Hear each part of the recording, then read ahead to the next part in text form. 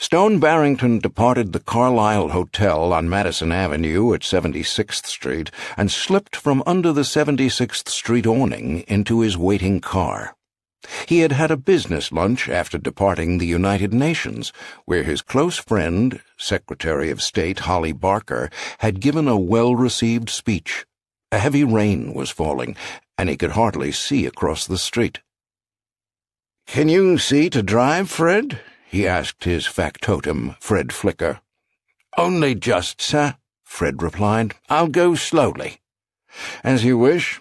Stone found his unfinished New York Times crossword on the seat next to him. It was quite dark outside, and he switched on the reading light and started to work. Traffic was slow. He saw a figure in black jogging toward Park Avenue with something in his hand. Stone couldn't tell what, and he went back to his puzzle. They had reached Park Avenue, but just as they did, the light turned red, and since there is no right turn on red in New York City, Fred waited for it to change. A dark blur appeared to his right in Stone's peripheral vision, but before he could turn to look at it, something struck the side window of the car with a heavy blow, and the vehicle shook slightly. As he turned, he saw the figure in black seeming to bounce off his car and fall into the street. He peered out the window at the figure, who was scrambling to his feet, and noted that he carried a sledgehammer. Then, from behind him, came another blow to the car, then one to the left rear window. Finally, the figure on Stone's side had another go with similar results. This time, a star appeared in the window glass. Fred was turning to look at him. What's happening? he asked. Never mind the light, Fred. Take a right, quickly. Fred did so, just as the light changed, and he was able to drive the length of the block before encountering another red light on Park. Stone looked over his shoulder and saw three dark figures bearing sledgehammers trotting toward the car. Never mind the light, Fred. Go! Stone shouted for emphasis. Fred went and got lucky, sailing through the empty intersection. All the lights on Park turned green, and he made it to 57th Street before they turned red again. What the hell? Fred asked.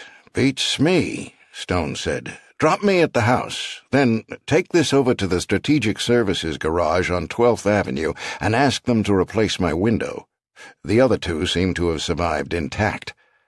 Stone had bought the car already armored from Strategic Services, the second largest security company in the United States. Fred pulled into the garage in Turtle Bay so Stone wouldn't get wet. Shall I wait for the car, sir, while they repair it? Yes, if they have the window in stock and can do it immediately. If not, just wait until the rain stops, then leave the car and take a cab back. Yes, sir.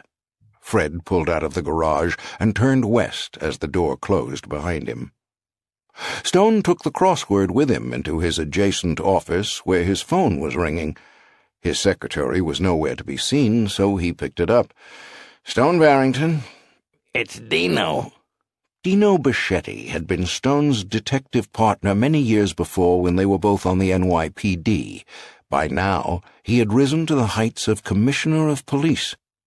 Dinner tonight? Patroon at 7.30? Sure. Funny you should ring. I need a policeman. Somebody take a shot at you?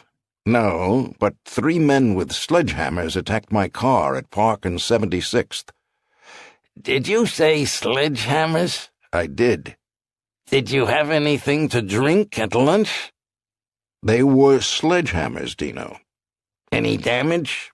One cracked window. Fred is having it replaced at the Strategic Services shop. That's right. You've got armored glass, haven't you? Nice to know it works. Yes, it is. Do you think they were after you? I think I could be forgiven for believing that, but I've no idea why anyone would want to beat me or my car to death with sledgehammers. Maybe it's not you they were after. Maybe it's the Bentley. I'm not aware of any organized hatred of Bentleys in New York, are you? Give me some time. I'll see if there were any other attacks on English luxury cars today. Take all the time you like, Stone said. Oh, Where were you coming from?